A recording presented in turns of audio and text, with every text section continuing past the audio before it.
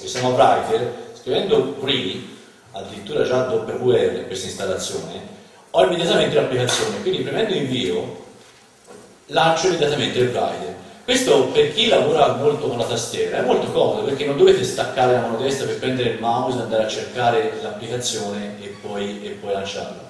Per un neofita è importante avere il menu, perché? Perché se non sai nemmeno che cosa hai installato, installato molto da poco, avere i menu divisi in categoria ti permette di esplorare il sistema e in maniera intuitiva imparare da quello che vedi eh, rispetto a quello che hai installato nel computer. Ma chi ha automatizzato i, propri processi, quindi sa già cosa vuole fare, la prima cosa che ti viene in mente è voglio lanciare questa applicazione, quindi la prima cosa è pensare, il vostro cervello elabora il nome di quell'applicazione, quindi con una semplice pressione di un tasto poterlo, poterlo scrivere rende la, la, il rapporto con, con, con Unity personalmente lo trovo molto molto molto comodo. Nel vecchio GNOME eh, esisteva poi l'Alt F2 che dava una finestra nel primo piano che permetteva di lanciare un comando, quindi era una forma eh, ristretta del, del, del terminale, quindi il terminale su una sola riga, è stato mantenuto chiaramente, quindi la stessa scorciatoia per chi lo usava su GNOME 2 la trova anche in Unity,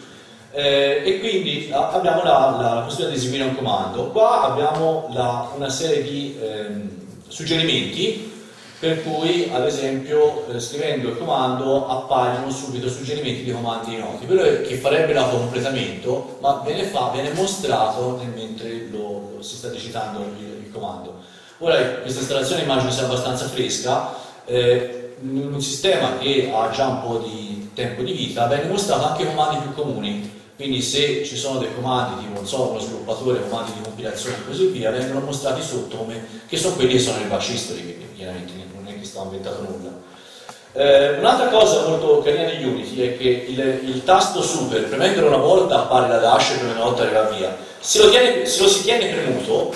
vengono fuori questi numerini. Quindi che cosa dice? Dice che il file manager che è in prima posizione, e corrisponde al numero 1, premendo quindi il tasto 1 si lancia il file manager.